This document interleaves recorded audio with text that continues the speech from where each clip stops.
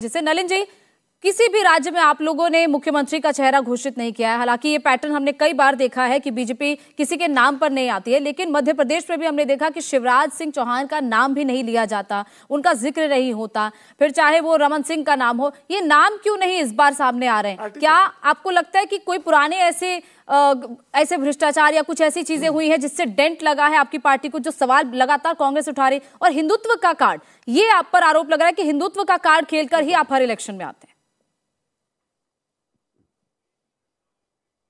बिल्कुल नहीं। जो आपने सवाल पूछा, हमारे यहाँ आपने खुद भी जवाब दे दिया कि हमारे यहाँ कई बार नहीं कहते हैं, बल्कि उल्टा है।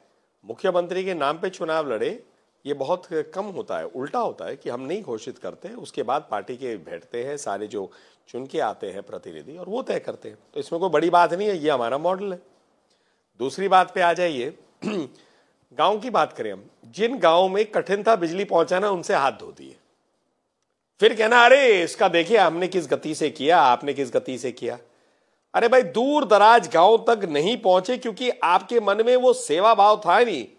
पूर्वोत्तर को तो छोड़ दिया, ऊपर लद्दाख को छोड़ दिया। अरे, ले गई चाइना तो ले जाए, एक, नेहरू जी का वाक्य था, एक वहाँ पर घास नहीं उगती, क्या फ़र्क पड़ता है? सड़कें नहीं बननी चाहिए बॉर्डर पे क्योंकि फिर चीन आ सकता है वापस। ये नहीं हो सकता कि हम मज़बूत हो जाए, सड़कें अच्छी होनी चाहिए, ताकि हमारे सैनिक को कोई तकलीफ़ ना हो। तो मैं आपको दो अलग मॉडल दे रहा हूँ। ऐसे ही दूर दराज इलाके तक विकास ना पहुँचे, अरे छोड़ो ना, इतना क्या जाना है, छोटा गाँव है, जोड़ दो। हम आसान इलाके में काम कर देते। ये दो अलग मॉडल है। अंत्योदय, जो भाजपा के साथ हमारे दीनदयाल उपाध्याय जी ने उस की कल्पना की थी, अंत्योदय। अंतिम कड़ी में जो खड़ा है, कड़ी में अंतिम व्यक्ति है, वहाँ तक पहुँचना है हमें। ये होता है सेवा भाव। ये थोड़ी ना होता है जो सबसे पास खड़ा, उसकी मदद कर दो, पीछे वाले बाद में देखे जाएँगे। अरे, हो जाएँगे तो हो जाएँगे। ये कांग्रेस का मॉडल है। फिर महादेव ऐप पे आ जाइए आप। ये बड़ी अद्भुत बात है। मीडिया रिपोर्ट्स वो सब आ रहे हैं, वो कह रहे हैं कि वहाँ के मुख्यमंत्री इसके साथ जुड़े हुए अब कहते हैं कि नहीं, हमने बोला उनको पकड़ो, भाजपा बचा रही है तो भाजपा क्या आपके मुख्यमंत्री को बचाना चाहती है? समझ ही नहीं आ रहा है। बिल्कुल समझ नहीं आ रहा है। ये इतना बड़ा ऐप और घोटाला आपके यहाँ हो कैसे रहा था? ऐसे वो लोग हो कैसे रहते हैं पुलिस को क्या हो गया था? सो रही थी। वहाँ पर आपकी जो खुफिया पुलिस है, सो रही थी। तो इसीलिए ये सारे चुनाव के पहले भागने के लिए, हाथ धोने के लिए आरोप, प्रति आरोप करके निकलने की बात है। फिर आपने पूछा, घोषणा पत्र का जवाब उन्होंने दिया कि भाई, नहीं नहीं, घोषणा पत्र अलग है, स्कीम को अनाउंस करना गलत है। मोदी जी ने क्या किया? पुरानी स्कीम चल रही है, बड़ा है। दोनों में फ़र्क है नई स्कीम है क्या? अस्सी करोड़ लोगों तक जो जा रहा है अनाज, पाँच किलो। ये तो कब से चल रही है? कोविड से चल रही है। पुरानी चीज़ें तो आप कह दीजिए ना, हम चाहते हैं कि नहीं अनाउंस हो। आप कहिए तो सही एक बार। हम नहीं चाहते कि ये स्कीम गरीबों तक पहुँचे। कहिए तो सही। कहेंगे, नहीं नहीं स्कीम अच्छी है, जानी चाहिए। क्योंकि आपको भी पता है, गरीबों तक मदद करनी चाहिए। और कर्नाटका में क्या हुआ? वादे दे दिए। उसके बाद इनका रिपोर्ट हुआ मीडिया में। इनके मुख्यमंत्री और इन्होंने कहा, वरिष्ठ नेताओं ने, अरे भाई, विकास के लिए पैसे नहीं हमने बहुत घोषणाएँ कर दी अभी नहीं करना है। मीडिया में आए। मैं थोड़ी ना कह रहा हूँ, ये तो मीडिया में रिपोर्ट आप निकाल सकते हैं। फिर इन्होंने भाषा की बात की। मैं फिर, मैंने पहले ही कहा कि देखिए, मोदी जी का मॉडल अलग है, राहुल जी का मॉडल अलग है। राहुल जी का मॉडल क्या है?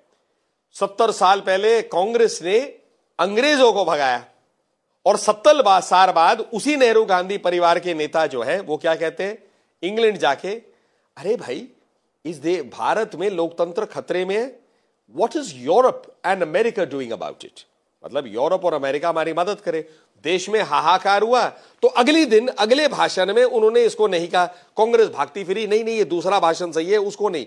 गलत कह रही है बीजेपी, गलत कह रही है। अरे, दो भाषण हुए। पहले भाषण में तो कहा ही उन्होंने। What is India what is Europe and India doing about it Manishankar Aiyar ji ने क्या कहा वहाँ पाकिस्तान में? इनको हटाइए, हमको लाइए। तो आप कांग्रेस की सोच देखिए। कि जब लगता है इनको अंग्रेज़ों को भगाने की बात करता है, जब जनता इनको भगा देती है तो कहते हैं, अंग्रेज़ों को आप आइए। लोकतंत्र खतरे में कैसे है? मुझे बताइए। रोज गाली देते हैं कांग्रेस के नेता, मोदी जी को देते हैं, भाजपा को देते हैं, सरकार को देते हैं। अच्छी भली बातें तो आलोक जी मेरे मित्र हैं, उन्होंने अभी इस शो में सुना दिया। क्या इनको ये बोलने पे कोई रोक है? किसी ने रोका? क्या आपके पास कोई फ़ोन आया कि नहीं नहीं, आलोक जी को ऐसे मत बोलने दीजिए। कहाँ आया उतना ही वैसे ही संविधान चल रहा है। अनुच्छेद 19 के तहत वो बोल रहे मैं बोल रहा हूँ आप प्रश्न पूछ रहे कोई कुछ नहीं बदला है। लेकिन आरोप लग रहा है। वो राहुल गांधी जी चुने हुए व्यक्ति हैं चुने हुए हैं देश में जीत के गए जीत कर गए हैं वहाँ पर एक जगह हारे वायनाड से जीते।